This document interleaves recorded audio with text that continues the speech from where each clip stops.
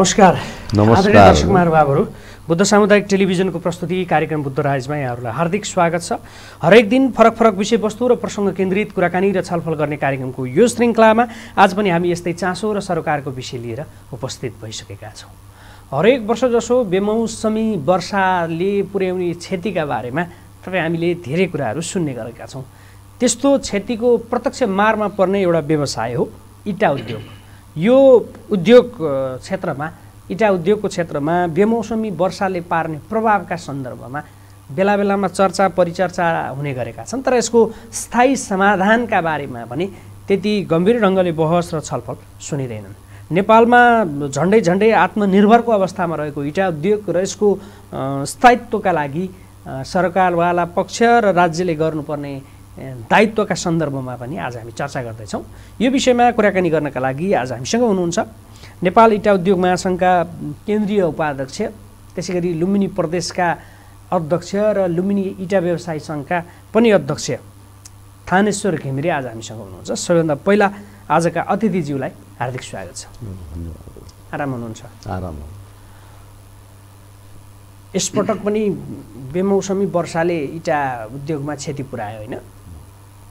यो हरेक वर्ष जसो क्षति पुऱ्याएको समाचारहरू सूचनाहरू अथवा दुखेसाहरू हामी सुन्ने गर्छौँ होइन? यसको स्थायी समाधान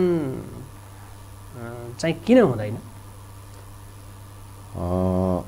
साह्रै महत्त्वपूर्ण प्रश्न राखिदिनु त्यसको लागि म बुद्ध टेलिभिजनका सम्पादकलाई म लुम्बिनी इटा व्यवसायी सङ्घ र प्रदेश र नेपाल इटा उद्योग महासङ्घको तर्फबाट हार्दिक धन्यवाद दिन चाहन्छु। विशेष त यो इटा उद्योग अन्य उद्योगभन्दा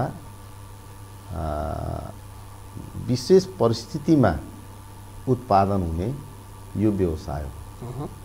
यो अन्य उद्योग र इटा उद्योगलाई एकै ठाउँमा दार्न सक्ने अवस्था छैन।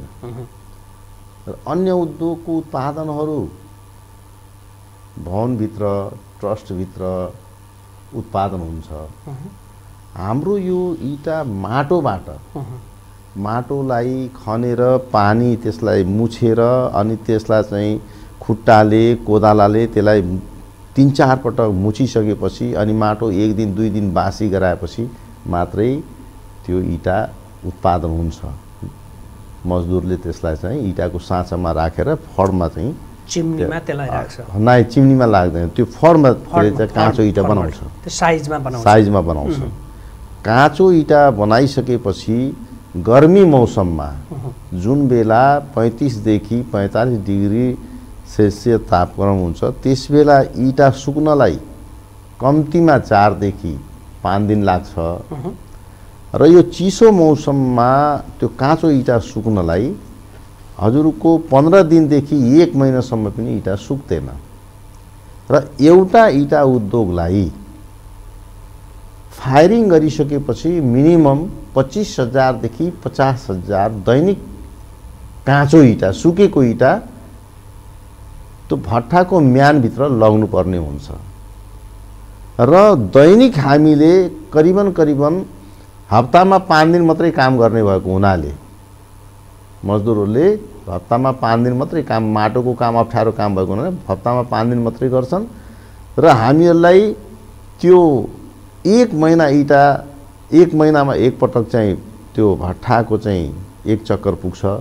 त्यो पुगाउनको लागि कम्तीमा हामीले एउटा इँटा उद्योग सानो इँटा उद्योगले दैनिक तिस हजारदेखि सत्तरी हजारसम्म ठुलो उद्योगले सत्तरी हजार काँचो इँटा उत्पादन गर्नुपर्छ। र सत्तरी हजार काँचो इँटा उत्पादन गर्दा पन्ध्र दिनको हजुरले जोड्दाखेरि सात पचे पैँतिस तिन लाख पचास हजार इँटा काँचो इँटा हाम्रो फडमा रहन्छ। त्यो फडमै हुन्छ त्यो सुकेको हुँदैन। र पानी झर्र पऱ्यो भने हाम्रो त्यो साढे तिन लाख रुप इँटा कम्तीमा साढे तिन लाख रुपियाँ एकै पटकमा झ्वाममा हुन्छ। र त्यसलाई त्यो सेडमा बनाइसकेपछि सेडमा त छाया हुन्छ छायाबाट इँटा सुक्दैन। अर्को कुनै प्रविधि पनि छैन। खुला आकाशमै राख्नु खुला आकाशमै राख्नुपर्छ हामीले त जति खुला गराउन सक्यौँ अनि त्यहाँ भएका त्यो बि वृक्ष रुखहरूको पनि त्यो छायाले सुक्दैन त्यो बुटाहरू पनि हामी काट्छौँ त्यहाँ। काटेर त्यसपछि त्यसलाई चाहिँ एकदम छाया नपरोस् घाम परोस् भन्छौँ। र अब अहिलेको मौसम देख्नु भएको छ। हरेक वर्ष चिसो मौसममा पन्ध्र दिन बिस दिन एक महिनासम्म कुरो कुहिरो लाग्छ। अहिले मङ्सिरबाटै पानी परिरहेको छ। मङ्सिरबाटै अहिलेसम्म निरन्तर जाडो र कुहिरो घाम लागेको अवस्था छैन। अब यो अवस्थामा त अ, रूपन्देहीमा काँचो इँटा अहिलेसम्म हामीहरूले आठ करोड इँटा रूपन्देहीमा हाम्रो नोक्सान भयो। एउटा इँटा उत्पादन गर्दा काँचो इँटा उत्पादन गर्दा रूपन्देहीको हकमा पाँच रुपियाँ दस पैसा एउटा काँचो इँटा पर्छ। हामीले लेबरलाई एउटा काँचो इँटा बनाए बापत हामीले एक रुपियाँ तिस पैसादेखि लिएर एक रुपियाँ पैँतालिस पैसा हामीले मजदुरलाई मात्रै दिन्छौँ। त्यसमा माटोको ज्या माटो अलग छ त्यसको राजस्व अलग छ भस्कट अलग छ पानी अलग छ विद्युत अलग छ सबै जोड्दा हाम्रो पाँच रुपियाँ दस पैसा पर्छ। र यो लागत जिल्ला अनुसार छ जस्तै कपिलवस्तुमा केही दुई चार दस पैसा सस्तो पर्छ। बाँके बर्दीमा मजदुर अलिक सस्तो भएको हुनाले त्यहाँ बिस पैसासम्म सस्तो पर्छ।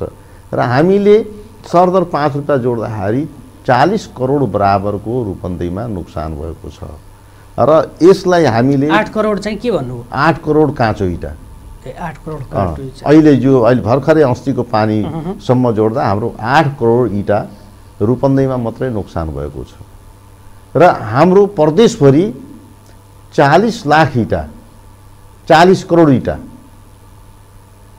लुम्बिनी प्रदेशभरि चालिस करोड इँटा हाम्रो चाहिँ डाटा अनुसार नोक्सान भएको छ र 40 करोड चालिस करोड काँचो इँटा। चालिस करोड काँचो। काँचो इँटा नोक्सान भएको छ। र चालिस करोडको मूल्य हजुरको दुई अरब एक करोड रुपियाँ पर्न आउँछ। चालिस इन्टु पाँचले पाँचले हजुरको दुई अरबभन्दा बढीको हाम्रो यो वर्ष सिजनमा नोक्सान भएको छ। र यो टोटल जुन उत्पादन गर्ने सिजन पनि हाम्रो यो चिसो मौसम हो। चिसो मौसममा जति इँटा बनाउन सकिन्छ त्यो बलियो पनि हुन्छ मजबुत पनि हुन्छ र यो इँटालाई हामीले स्टक गरेर हामीले जेठसम्म पोल्ने हो। जब गर्मी बढी हुन्छ गर्मीको मौसममा लेबरलाई गर्मी हुन्छ मजदुरलाई उनीहरूले एक त काम गर्दैन। अर्को कुरा के हुन्छ भने त्यो इँटा काँचो इँटा क्रेक भएर जान्छ टुक्रा हुन्छ। गर्मीका कारण। गर्मीको कारणले बढी एकदम। घाम एकदम जम्दैन त्यो टुक्रा हुन्छ। त्यो कारणले फेरि हामीलाई नोक्सान हुन्छ। र हामीले के गर्छौँ भने मङ्सिरदेखि लिएर फागुनको लास्टसम्म जति उद्योगलाई चाहिने काँचो इँटा हो हामीले फागुनभित्रमा हामीले तयार गर्नुपर्छ। र पछि अरू मजदुरहरू चाहिँ होलीपछि त लगभग लगभग सबै जान्छन् केही बाँकी रहन्छन्। बाँकी रहेका कुनै इँटा उद्योगले फायरिङ लेट गर्छ कसैको लेबर कम कमी आइदिन्छ पेस्की खाएर चाहिँ मान्छे घरमा बसिदिन्छ। त्यो कारणले गर्दाखेरि हजुरको वैशाखमा पनि पथाइ हुन्छ यता कता कुनै कुनै भट्टामा। यथार्थमा यही नै हो। हामी सेड हाम्रो छँदा पनि छैन। र हामीले सेडभित्र चाहिँ काम गरेर त्यो क- काँचो इँटा यो सुक्दा पनि सुक्दैन। र सुकाउने अर्को कुनै प्रविधि पनि छैन। प्रविधिविहीन उसमा हामीहरूले चाहिँ चलाएका छौँ। प्रविधि भनेको पा पाकेको इँटा मात्रै काँचो इँटालाई कसरी पकाउने भन्ने मात्रै प्रविधि हो। र त्यो प्रविधि फेरि नेपालको सबभन्दा उत्कृष्ट प्रविधि हो साउथ एसियामा। र नेपालको यो जिगज्याग भन्ने जुन प्रविधि छ नि यो अहिले भारतमा बङ्गलादेशमा पाकिस्तानमा यो चाहिँ नेपालको प्रविधि र नेपालका प्राविधिकहरू यहाँबाट त्यो देशमा गएर चाहिँ सिकाएर यहाँको प्रविधि प्रविधिले त्यो कोइला कम खाने राम्रो पकाइ हुने। चिम्नीवाला। यो चिम्नीवाला। यो नेपालबाट पो भयो गएको। आउनु त पहिला चाहिँ भारतबाट अन्य मुलुकबाट आयो। तर नयाँ प्रविधि जुन थोरै कोइला लाग्ने प्रदूषण कम हुने। हाम्रो सबभन्दा चाहिँ समस्या भनेको अहिले प्रदूषण हो वातावरण हो। त्यो प्रदूषण त इँटा उद्योगीलाई पनि प्रदूषण लाग्छ र त्यो चाहिँ सामान्य नागरिकलाई पनि लाग्छ। र सा नागरिकलाई मात्रै प्रदूषण हुने हामीले नहुने भन्ने त छैन। हामीले आफू पनि प्रदूषण मुक्त कसरी हुने भनेर त्यसकारण हामीले चाहिँ हाम्रो यो नेपाल इँटा उद्योग महासङ्घ मा मार्फत हाम्रो केही प्राविधिक साथीहरू हुन्छ जसमध्ये हाम्रो रूपन्देहीमा पनि हुनुहुन्छ। र अहिले भर्खरै हाम्रो विक्रम बज्राचार्य सोना इँटाको सञ्चालक हुनुहुन्छ। उहाँ र हाम्रो गोकर्ण खड्काजी हुनुहुन्छ हाम्रो आरबी इँटा उद्योगको सञ्चालक। उहाँ दुईजनाले अहिले पाकिस्तानमा दुई महिना अगाडि पाकिस्तानमा गएर पन्ध्र दिन त्यहाँ बसेर त्यहाँको महासङ्घले इँटा उद्योग महासङ्घ पाकिस्तानले र त्यहाँको गभर्मेन्टले मगायो। र आठजनाको टोली गयो र उहाँहरू पन्ध्र दिनसम्म त्यहाँ बसेर उहाँहरूलाई त्यो प्रविधि हस्तान्तरण गरेर सिकाएर पकाएर उहाँहरू आएको टोली छ। त्यसकारण हामी प्रदूषणको लागि पनि हामी एकदम चिन्तित छौँ। कमभन्दा कममा प्रदूषण हो। सरकारले जुन दिएको मापदण्ड छ त्योभन्दा पनि हामी धेरै तल धेरै सुधार गरेका छौँ। सुधार गरेर हामीले सञ्चालन गरेको। प्रदूषणमा चाहिँ सफलता प्रदूषणमा मिलेको छ, एकदम। सफलता मिलेको छ। तर तपाईँहरू त देश विदेशमा पनि तपाईँहरूको महासङ्घ अन्तर्गत नेटवर्कहरू होइन। छ। अरू देशमा पनि यो खालको बेमौसमी वर्षाको समस्या होला नि त त्यहाँ चाहिँ कसरी व्यवस्था अब यसमा के छ भने अब हामीले चाइनाको भ्रमण गऱ्यौँ। अब जर्मनको भ्रमण गरेका छौँ। त्यसपछि गएर पाकिस्तान बङ्गलादेश यो त अब भारत। इन्डिया त हामी आउने जाने क्रम रहिरहेछ। त्यहाँबाट यहाँ आउनुहुन्छ यहाँबाट हामी त्यहाँ जान्छौँ। र विदेशमा के छ भने अटोमेटिक प्लान्ट छ। त्यहाँ अटोमेटिक प्लान्टले हजुरको त्यो के गर्छ भने हजुरको चेम्बर सिस्टमको त्यो माटो मुस्नेदेखि लिएर त्यसलाई त्यो काँचो इँटामा साँचाबाट निकाल्नेदेखि लिएर त्यही मसिनमै त्यसलाई त्यहाँ तताएर सुकाएर त्यसपछि गएर तपाईँको एकैचोटि पाकेको इँटा निकाल्ने सिस्टम छ। त्यो सिस्टमले गर्दा के छ भने त्यो अर्बौँ अर्ब लगानी गर्नुपर्ने। ठुलो भोल्युमको लागि। र त्यसको लागि ठुलो स्केलमा जग्गा चाहियो। जस्तै विदेशमा गभर्मेन्टले एकै सय सय वर्षको लागि नब्बे वर्षको लागि लिजमा दिएको छ उद्योगीहरूलाई। र उनीहरूको दैनिक चालिस लाख पचास लाख इँटा उत्पादन गरिराख्नु भएको छ एउटा उद्योगबाट। र त्यहाँ चाहिँ त्यहाँका जुन चाहिँ काम नलाग्ने चाहिँ चुरे पाहाडहरू जुन छ नि हजुरको त्यो पाहाडको माटो जति त्यो पुरा एरियाको त्यो चाहिँ हजुरको ढुङ्गा चुनढुङ्गा चाहिँ सिमेन्टमा जाने अर्को ढुङ्गा जति घर निर्माणमा जाने र माटोलाई चाहिँ छनौट गरेर त्यो माटोबाट इँटा गराउने र सय सय वर्षको लागि लिजमा दिएको छ। यहाँ त जग्गा किन्नुपर्छ हेर्नुहोस्। पहिला पहिला भाडामा पाइन्थ्यो लिजमा। अहिले त्यो लिजमा पनि दिने चाहिँ किसानले मान्न छोडिसके किनकि मा त्यहाँ खाल्डो हुन्छ। खाल्डो भइसकेपछि पछि गएर त्यहाँ खेतीयोग्य रहँदैन अनि माछा पालन गर्नुपर्ने हुन्छ। सबैले माछा पाल्दैन। त्यसले गर्दा अहिले उद्योगीहरूले जग्गा किनेर चाहिँ उद्योग सञ्चालन गर्नुपर्ने भएको हुनाले र एउटा चाहिँ ठुलो प्लान्ट लगाउनको लागि अरबौँ अर्ब सात अरब रुपियाँ लगानी गर्नुपर्ने रहेछ। र त्यसपछि गएर स- जग्गा हजुरको चाहिँ साठी बिघा पक्कै जग्गा चाहिने रहेछ। त्यो बिस वर्षको लागि। कम्तीमा साठी बिघा बिस वर्षको लागि साठी बिघा जग्गा चाहिने रहेछ। र जग्गालाई मात्रै तपाईँको अर्बौँ रुपियाँ पर्छ। र हाम्रो यो प्रविधिबाट उत्पादित भएको इँटा अहिले विदेशमा माग छ हेर्नुहोस्। म अस्ति भर्खरै बनारस गएँ। अल इन्डिया इट व्यवसायी सङ्घको चाहिँ उसमा मलाई निमन्त्रणा पठाइएको थियो। म गएँ। बनारसबाट एउटा यो हस्त निर्माण यो जुन चाहिँ हाम्रो प्रविधि छ नि हातबाट निर्माण गर्ने घरेलु निर्माण जुन छ यो निर्माण अहिले बेलायतमा एकदमै यसको माग छ। र बेलायतमा कस्तो माग छन् एकदम चिल्लो इँटा खोजिरहेको छैन। उनीहरूले खर्सो इँटा कालो इँटा पाकेको रातो पनि चाहिँदैन उनीहरूलाई कालो इँटा। त्यस्तो किसिमको इँटा उनीहरूले हामीले चिल्लो खोजिरहेको छौँ हामीले चिल्लो खोजिराखेका छौँ। उनीहरूले खर्सो इँटा। त्यो एकदम बिल्कुल चाहिँ दुई चार सय पाँच सय वर्ष पुरानो इँटा हो भन्ने देखाउनको लागि उनीहरूले होटलहरूमा रिसोर्टहरूमा ठुल्ठुला बिल्डिङहरूमा अहिले त्यो प्रयोग गरिरहेछ बेलायतमा। र त्यो प्लस्टर गर्दैन। माटोको जोडाइ गरिरहेछ। सिमेन्टको जोडाइ गरिरहेछ तर पेन्ट गरे आउँछ एक साइडमा पेन्ट हुन्छ एक साइडमा त्यस्तै त्यो खर्सो इँटा देखाइराखेको छ। त्यो डिजाइनको रूपमा ल्याइरहेछ। त्यहाँको आर्किटेक्चरले त्यो डिजाइनको रूपमा ल्याएको छ। अब यहाँ हामीले चिल्लो इँटा मान्छौँ। र चिल्लो इँटामा के छ भने हजुरको यो सिमेन्ट पक्रन्न। यो बलियो हुँदैन। यसको लागि खर्च हुनैपर्छ त्यसकारण हातले निर्माण गरेको इँटा जतिको बलियो र त्यो जतिको राम्रो मेसिनबाट बनाइएको इँटा हुँदैन। यो कुरा बेलायतले पनि प्रमाणित गर्यो जर्मनले पनि प्रमाणित गर्यो र चाइनामा त्यत्रो त्यत्रो ठुलो प्लान्ट राखेको छ। उनीहरूको पनि ठुल्ठुला चाहिँ कन्स्ट्रक्सनहरूमा सरकारी कन्स्ट्रक्सनहरूमा त्यो हातबाटै निर्माण गरेको चाहिँ इँटालाई प्रयोग गरिराखेको अब अध्यक्ष तपाईँहरू एउटा सामान्य केराको बोर्डको बिमा हुन्छ हामी कहाँ होइन? तपाईँहरू यो बिमा प्रोसेसमा चाहिँ किन लाग्नुहुन्न? हामीले यो पटक पटक नेपाल सरकारसँग हामीले धेरै पटक डेलिगेसन गयौँ धेरै पटक माग गऱ्यौँ नेपाल सरकारसँग लुम्बिनी प्रदेश सरकारसँग। हाम्रो यो खुला आकाश मुनि सञ्चालित उद्योग भएको हुनाले र माटोबाट इँटा बनाउने बित्तिकै नसुक्ने हुनाले तपाईँको पानीबाट नोक्सान हुने हारा हुवा हावाहुरीबाट नोक्सान हुने भएको हुनाले यो बिमा गरिदिनु पऱ्यो भनेर हामीले पटक पटक सरकारलाई झकझकायौँ। सरकार यो विषयमा सुतेको छ। उहाँहरूले बिमा कम्पनीलाई चाहिँ सम्पर्क गर्नुहोस् भन्छ। बिमा कम्पनीले के भन्छ भने हामीले पाकेको इँटा गर्छौँ भन्छ। पाकेको इँटा त नोक्सानै छैन त। पाकेको त क्षति नै छैन। क्षति नै छैन त्यो नोक्सानै हुँदैन त्यो। अनि उस के के को उसको गर्ने?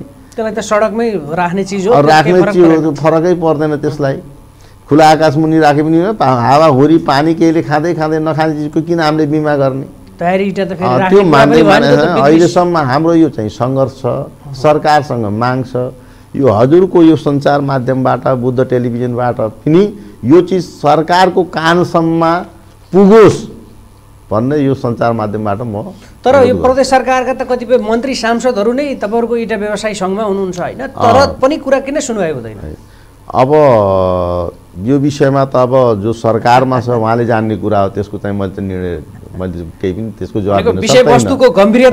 व्यक्तिहरू केही व्यक्तिहरू हुनुहुन्छ र गएको चाहिँ एमालेको नेता अनि अघिल्लो यसभन्दा अघिल्लो मुख्यमन्त्रीजी पनि इटा व्यवसायमा चाहिँ सम्मिलित हुनुहुन्थ्यो भन्ने हामीलाई जानकारी छ। र यस शङ्कर पोखरेलजी र अहिले पनि चाहिँ केही चाहिँ मन्त्री साथीहरू हुनुहुन्छ व्यवसायमा हुनुहुन्छ। तर उहाँहरूले पनि अब त्यो पहल गर्दाखेरि व्यक्तिगत स्वार्थको लागि गर्यो भन्ने हुने भयो भन्ने कुरा पनि आयो। त्यसको लागि महासङ्घबाट आवाज उठाइराखेका छौँ। प्रदेशबाट चाहिँ हामीले आवाज उठाइरहेका छौँ जिल्लाबाट आवाज उठाइरहेका छौँ। हाम्रो आवाजलाई सुन्ने काम सरकारले गरेको छैन। अब इँटामा चाहिँ हामी यो त एकातिर एउटा दुर्घटनाको कुरा भयो होइन? हामी आत्मनिर्भर हो आजका दिनमा। अहिले हामी पूर्ण रूपमा हामी आत्मनिर्भर छौँ। हामीले दुई हजार हजुरको बयालिस सालसम्म हाम्रो छिमेकी राष्ट्र मित्र राष्ट्र भारतबाट इँटा आउँथ्यो बयालिस। साल दुई हजार बयालिस सालसम्म यहाँ आउँथ्यो र बयालिस सालपछि नेपालमा उद्योग खोल्ने क्रम रह्यो र प्रजातन्त्र आइसकेपछि छ्यालिसपछि त अझ बढी नै भयो। अनि हामीले कु- रूपन्देहीमा दुई हजार त्रिचालिस सालबाट बन्द भयो अनि पूर्वी क्षेत्र र पश्चिमी क्षेत्रमा हजुरको यो उनपचास सालसम्म पनि आइराखेको थियो। पछि हामीले महासङ्घ मार्फत त्यो आवाज उठायौँ र आवाज उठाइसकेपछि अहिले चाहिँ यो इँटाको अब आउँदै आउँदैन भन्ने छैन। यसको भन्सार दस्तुर महँगो गरिदिएको छ विदेशबाट आउने चिजमा। भन्सार दस्तुर महँगो परेको हुनाले त्यो त राम्रो कुरा हो त्यो? कारणले त्यहाँको इँटा आइराखेको छैन।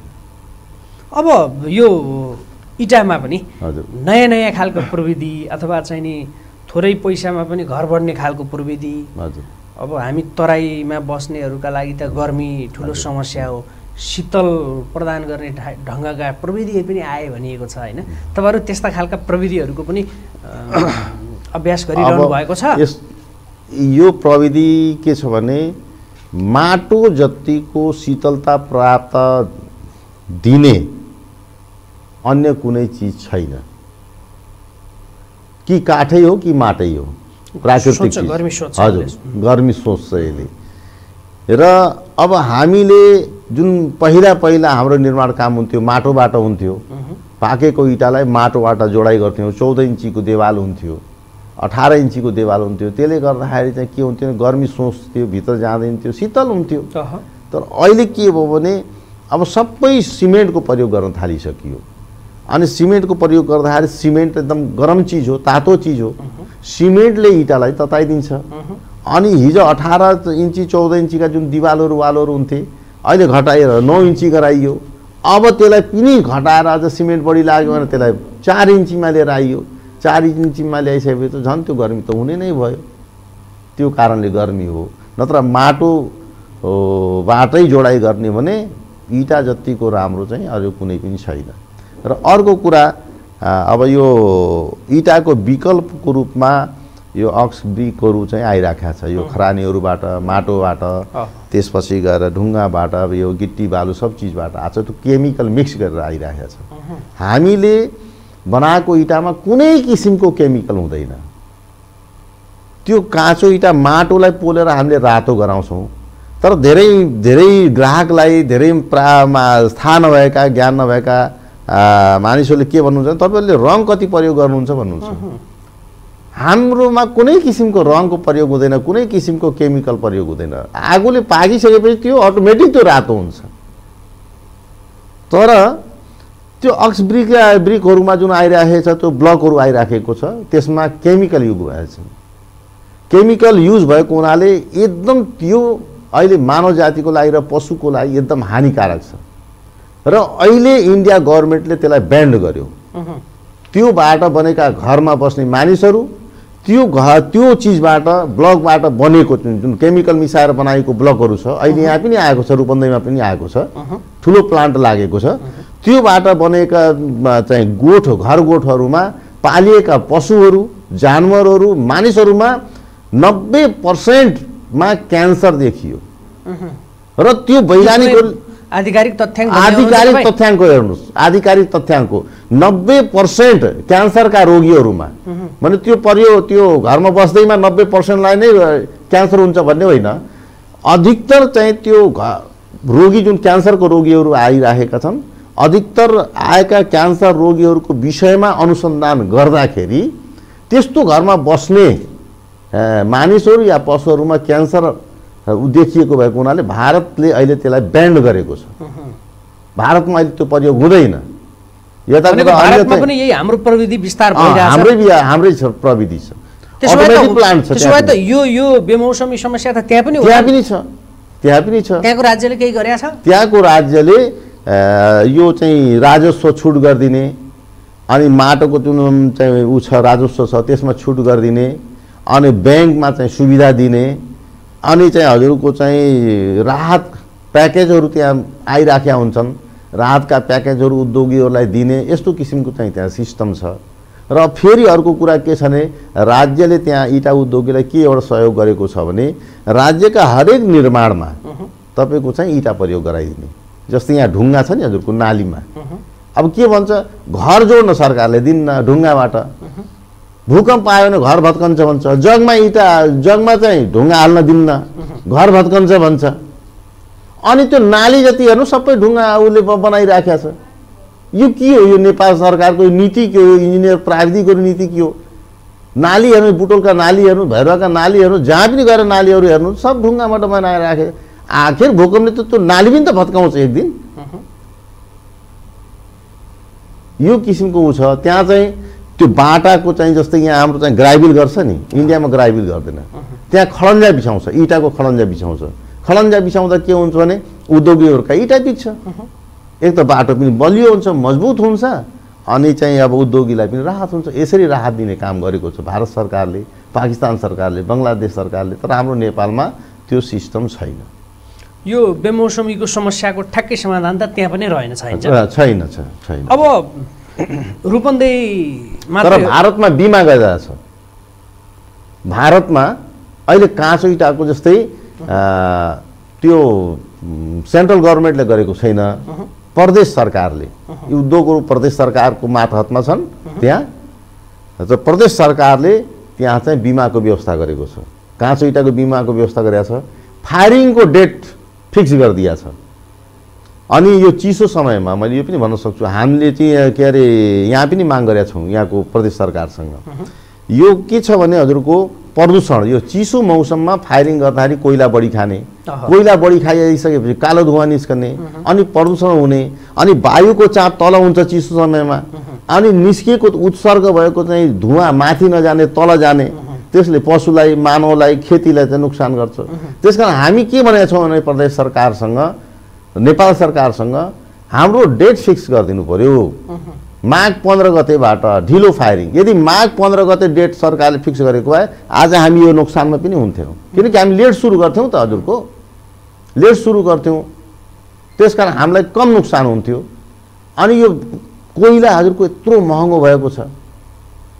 अहिले कोइलाको भाउ चालिसदेखि पैँतालिस पर्सेन्ट वृद्धि भएको छ। र आउने कोइला सम्पूर्ण चाहिँ हजुरको विदेशबाट हो।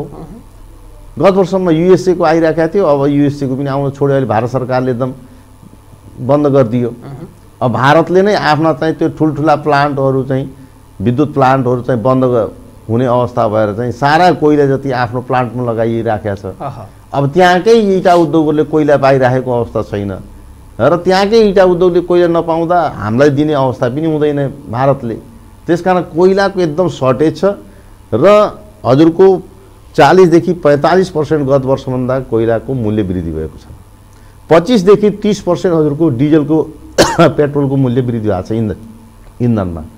लेबरमा पन्ध्र पर्सेन्ट मूल्य वृद्धि भएको छ मजदुरीमा। अब यसरी हरेक चिज मूल्य वृद्धि भएको छ अनि यता यत्रो करोडौँ रुपियाँ अरबौँ रुपियाँको नोक्सान भएको छ। अब हाम्रो रूपन्दैमा सबभन्दा सस्तो इँटा हो। कञ्चनपुर बाँके बर्दियाभन्दा पनि यहाँ सस्तो। विराटनगर भन्दा पनि धेरै सस्तो। अब यो पटक चाहिँ एकदम मूल्य वृद्धि हुनेवाला छ। हुनेवाला छ।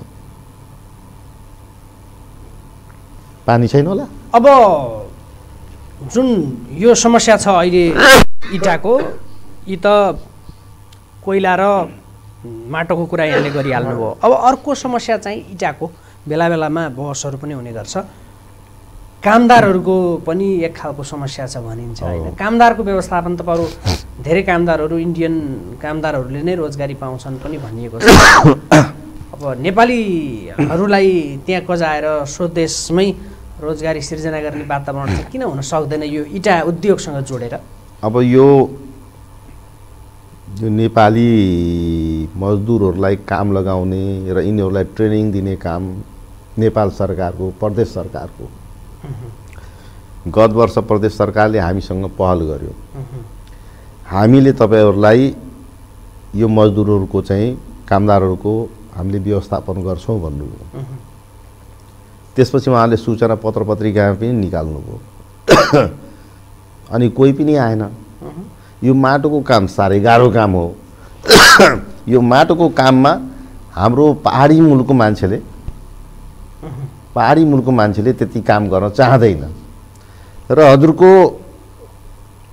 हामीले हाम्रो आफ्नो पहलमा उद्योगको पहलमा हाम्रो सङ्घको पहलमा हामीले दाङ कैलाली बाँके बर्दिया प्युठानमा गएर हामीले ट्रेनिङ दिएर त्यहाँको चाहिँ मजदुरहरूलाई लिएर आएर सिकाएर हामीले काम गराउँदा अहिले पहिला नगन्य दस पर्सेन्ट थियो।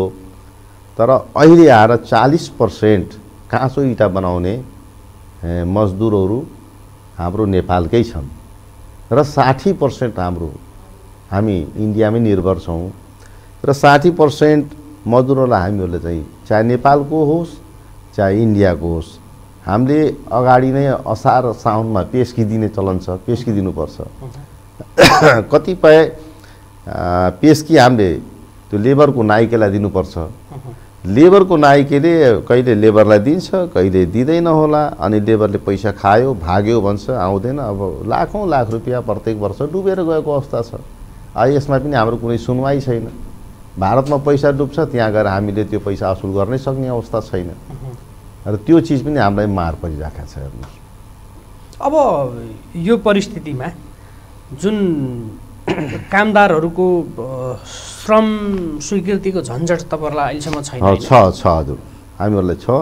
नेपाल सरकारले के भनेको छ भने अब कुनै पनि उद्योगले भारतीय या विदेशी मजदुरहरू लिएर आउँदाखेरि बाह्र से छ महिनासम्म काम गराउने भने पन्ध्र हजार। अनि त्योभन्दा बढी गराउने भने पच्चिस हजार कि कति यसरी चाहिँ तोकेको छ। एकजना मजदुर बराबर। अनि हामीले एउटा उद्योगमा मिनिमम सयजना मान्छे भारतीय मूलको राख्नै पर्ने हुन्छ। अनि सयजना राख्ने बित्तिकै पन्ध्र लाख रुपियाँ हामीले सरकारलाई ट्याक्स बुझाउने अवस्था आएको छ अहिले। बुझाएका त छैनौँ तर सरकारले त्यो कानुन बनाइसकेको छ। त्यो कानुनको उसमा हामीले यो हामीलाई अन्याय हो भन्ने भनेका छौँ। र अहिले फेरि के छ भने त्यो हामीले चाहिँ त्यो जुन मान्छे सप्लाई गर्ने कम्पनीहरू हुन्छ नि ठेकदारहरू। ठेकदारसँग उनीहरू नेपाल सरकारमा दर्ता भएका त्यस्ता कम्पनी या व्यक्तिबाट मात्रै लिन पाउने भनेर भने भनेको छ। मेन पावर व्यवसाय। मेन पावर व्यवसायी अब मेन पावर दर्ता गर्नु पर्यो अनि मेन पावरलाई त्यो बिस लाख पच्चिस लाख कति धरोटी राख्नु पर्यो अनि त्यसपछि उसले ल्याएर दिने हो कि होइन त्यो समस्या छ हेर्नुहोस्। अब यस्ता चिजमा चाहिँ सरकारले हामीलाई सहयोग गर्नुपर्ने ठाउँमा झन् यो झन्झटिलो चाहिँ यो कानुन बनाइदिएर हामीलाई अर्को तर्फबाट समस्या सिर्जना गर्ने काम गरेको छ हेर्नुहोस्। अब हामी कहाँ नभई नहुने। नेपालमा इटा व्यवसायले नेपालमै उत्पादन नगर्ने हो भने त अल्टिमेटली हामीले विदेशबाट निर्यात गरिहाल्नुपर्छ होइन? स्वदेशमै कम्तीमा उत्पादन भएको चाहिँ यो एकदम राम्रो कुरा नै छ। यसमा देखिएका बिमा लगायतका समस्याहरू कामदारसँग सम्बन्धित। समस्याहरूमा चाहिँ सङ्घ प्रदेश प्रदेश लेभलमा पनि कतिपय समस्या हल गर्न सकिन्छ। यो ढङ्गको वातावरणका लागि चाहिँ महासङ्घको त्यही ढङ्गको सक्रियता आवश्यक रहोस् र जति सक्नुहुन्छ उपभोक्ताहरूलाई चाहिँ सर्वसुलभ अघि भन्नुभयो नि हजुर। रूपन्देहीमा सबैभन्दा कम छ। त्यो त राम्रो कुरा हो तपाईँहरूले सहज ढङ्गले सर्वसुलभ ढङ्गले उपभोक्ताले उपभोग गर्न सक्ने खालको वातावरण निर्माणका लागि यहाँहरूले भूमिका खेल्नु होला। यो भइदियो भनेदेखि चाहिँ एउटा चाहिँ विपन्न मान्छेले पनि आफ्नो घर एउटा सपना पुरा गर्न। सक्छ होइन? यतातर्फ पनि तपाईँहरू संवेदनशील नै नै हामी। यसमा एकदम बिल्कुल लागेका छौँ। विराटनगरमा हजुरको साउनबाट प्रति पिस इँटा बाइस रुपियाँमा बिक्री भइरहेको छ। आज धनगढी महेन्द्रनगर सबभन्दा सस्तो इँटा हुन्थ्यो। तर अहिले त्यहाँ हजुरको प्रति इँटा सोह्र रुपियाँ पिसमा बिक्री भइरहेको छ। कपिलवस्तु र रूपन्देहीमा प्रति पिस चौध रुपियाँको दरले हामीले उपभोक्तालाई उपलब्ध गराइराखेका छौँ र त्यसमा चाहिँ भाडा इन्क्लुड गरिन्छ र अहिले हजुरको जुन हिसाबले डिजल पच्चिसदेखि तिस पर्सेन्टको वृद्धि कोइलामा चालिसदेखि पैँतालिस पर्सेन्टको वृद्धि माटोको राजस्वमा वृद्धि भस्कटमा समस्या त्यसको वृद्धि सरकारबाट कुनै किसिमको चाहिँ सहयोग नहुने ब्याङ्कको चाहिँ ब्याज चर्को एक त ब्याङ्कले इँटा उद्योगमा लगानी गर्नै मान्दैन। लगानी गर्यो भने अन्य उद्योगलाई सात पर्सेन्ट आठ पर्सेन्टमा दिन्छ भने हामीहरूलाई बाह्रदेखि सोह्र पर्सेन्टसम्म ब्याजमा दिइराखेको छ। चर्को ब्याज अनि ऋणको झन्झटिलोको को अवस्था। अन्य उद्योगहरूले कोभिडबाट चाहिँ नोक्सानबाट दुई दुई वर्ष कोभिड भयो ठुलो राहत पाउनु भएको छ अन्य उद्योगहरूले। हामीले कुनै किसिमको चाहिँ राहत पनि पाएनौँ। बरु हामीले राहत वितरण गऱ्यौँ मजदुरहरूलाई। आफ्ना मजदुरलाई हामीले चामल दाल तेल नुन के के हो उसको घरमा पुऱ्याएर हामीले राहत दिने कायम गऱ्यौँ। तर सरकारबाट कुनै किसिमको चाहिँ हामीहरूलाई चाहिँ त्यसको चाहिँ व्यवस्थापन गर्न सकेन। र त्यति गर्दा गर्दै पनि हामीले रूपन्देही र कपिलवस्तु परासीमा एकदम सर्वसुलभ रूपमा सस्तो मूल्यमा हामीले इँटा उपलब्ध गराएका गराइ आइराखेका छौँ। अब अहिले कसैले पनि आफ्नो उद्योगलाई धाराशाही गराएर नोक्सान गराएर अब आफ्नो परल मूल्यभन्दा सस्तोमा दिन सक्ने अवस्था छैन। त्यसको लागि हामीले चौध रुपियाँमा कम्तीमा पनि साथीहरूको आज पनि बैठक छ हाम्रो तिनवटा जिल्लाको। परासी कपिलवस्तु रूपन्देहीको समन्वय समितिको बैठक छ यही मूल्यकै विषयमा। र धेरै पटक हामी बसिसक्यौँ। कपिलवस्तु परासी रूपन्देहीमा बसिसक्यौँ। र साथीहरूको भनाइ के छ भने हरेक चिजबाट नोक्सान कोइला र डिजलको मात्रै कोइला डिजल र चाहिँ मजदुरी मात्रै चाहिँ जुन वृद्धि भयो त्यसलाई मात्रै यदि हामीले जोड्ने हो भने पच्चिस पर्सेन्ट वृद्धि गर्नुपर्छ। र यो डिजल सिजलको चाहिँ र अन्य चिजको तिमी पनि हामीले यो जुन पा यो पानीबाट जुन नोक्सान भयो यसलाई पनि जोड्ने हो भने चालिस पर्सेन्ट वृद्धि गर्नुपर्छ भन्ने उद्योगीहरूको यो प्रा माग छ। र म एउटा चाहिँ सामाजिक कार्यकर्ता पनि भएको हुनाले र एउटा चाहिँ संस्थाको चाहिँ जिम्मेवारी पनि चाहिँ लिएर भएको हुनाले अब एकातिर सस्तो दिनुहोस् भनेर मैले उद्योगलाई डुबाउनु डुबाउने अवस्था पनि छैन। र मैले फेरि चाहिँ एकदम इँटा महँगो गराएर उपभोक्तालाई चर्को मूल्य लिएर चाहिँ उहाँहरूलाई चाहिँ अब चाहिँ अप्ठ्यारो पार्ने या नोक्सान बनाउने उपभोक्तालाई त्यो पनि मेरो चाहिँ मानसिकता छैन। त्यसकारण अहिले जुन हाम्रो रूप रूपन्देहीको चौध रुपियाँको मूल्य छ त्यसमा कम्तीमा बिसदेखि पच्चिस पर्सेन्ट मूल्य वृद्धि हुन्छ। त्यति गर्नै पर्छ। त्यो त्यो अवस्था। मूल्य वृद्धि त चालिस पर्सेन्ट गर्नुपर्ने हो। र साथीहरूको भनाइ पच्चिसदेखि चालिस पर्सेन्टमा भनिराख्नु भएको छ हामी पाँच दिन लगातार बैठक बस्यौँ। हाम्रो चाहिँ त्यही साथीहरूले चालिस पर्सेन्ट नै अडान लिएको भएको हुनाले मूल्य निर्धारण हुन सकेको छैन। त्यसमा म एउटा जिम्मेवार एउटा महासङ्घको पनि उपाध्यक्ष प्रदेशको पनि अध्यक्ष अनि लुम्बिनी व्यवसाय सङ्घको पनि अध्यक्ष र सामाजिक कार्यकर्ता पनि भएको हुनाले मैले चाहिँ साथीहरूलाई चाहिँ सबैलाई कन्भिन्स गरेर बिसदेखि पच्चिस पर्सेन्टसम्ममा ल्याउन सक्छु कि भन्ने एउटा मानसिकता बनाएको छु त्यसमा मैले पहल गरिराखेको छु। अब कति सक्छु जति सक्नुहुन्छ कम। हजुर। मूल्यमा चाहिँ उपभोक्ताले पाउने गरी त्यो खालको वातावरण बनाउनु होला। यहाँहरूका धेरै समस्याका विषयमा हामीले संवाद गऱ्यौँ आगामी दिनमा फेरि पनि हामी यस्तै खालका छलफलहरू गर्नेछौँ। यो व्यस्त समयको बावजुद हामीसँग आएर इटा व्यवसायलाई परेका समस्या त्यहाँका टेक्निकल प्राविधिक कुराहरूका बारेमा जानकारी दिनुभयो। यहाँलाई धेरै धेरै धन्यवाद। हस् त धन्यवाद यहाँलाई पनि। आज लुम्बिनी इटा व्यवसायी सङ्घको तर्फबाट र प्रदेश लुम्बिनी प्रदेश इटा व्यवसायी सङ्घको तर्फबाट यो बुद्ध टेलिभिजन सामुदायिक टेलिभिजन मार्फत हाम्रा भनाइहरू राख्न जुन अवसर दिनुभयो त्यसको लागि म प्रदेश कमिटीको तर्फबाट र लुम्बिनी इटा व्यवसायी सङ्घको तर्फबाट सम्पूर्ण युनिट पत्रकारजीहरूलाई यो टेलिभिजनलाई म हृदयदेखि नै धन्यवाद दिन्छु। हस्त नमस्कार। धन्यवाद। आदरणीय दर्शक महानुभावहरू हामीले तिनजना कुराकानी गऱ्यौँ कि नेपाली उद्योग महासङ्घका केन्द्रीय उपाध्यक्ष प्रदेशका अध्यक्ष एवं लुम्बिनी इटा व्यवसायी सङ्घका अध्यक्ष थानेश्वर घिमिरे उहाँसँग गरिएको कुराकानी सँगसँगै आजको कार्यक्रमबाट हामी सबैलाई आज्ञा दिनुहोस्। नमस्ते।